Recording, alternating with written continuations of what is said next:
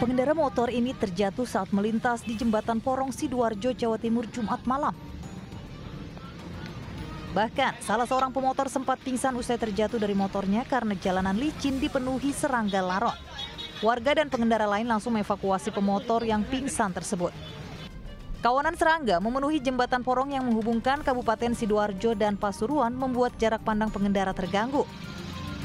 Banyaknya serangga jenis laron ini juga membuat jalan menjadi licin hingga rawan kecelakaan. Ini jatuh kenapa Pak? Karena laron ini Pak ya? licin pak Licin ya? licin jalannya pak Gara-gara hewan ini ya? iya pak Ini mau ke mana nih tadi? mau ke Malang pak kalau lampu mati ya wes anu cepet hilang Terus ini nyala ini ya? ya nyala tambah banyak Kemunculan laron ini kerap terjadi khususnya saat malam hari. Para pengendara diimbau untuk berhati-hati dan melambatkan laju kendaraan saat melintasi jembatan. Dari Sidoarjo, Jawa Timur, Pramono Putra, iNews melaporkan.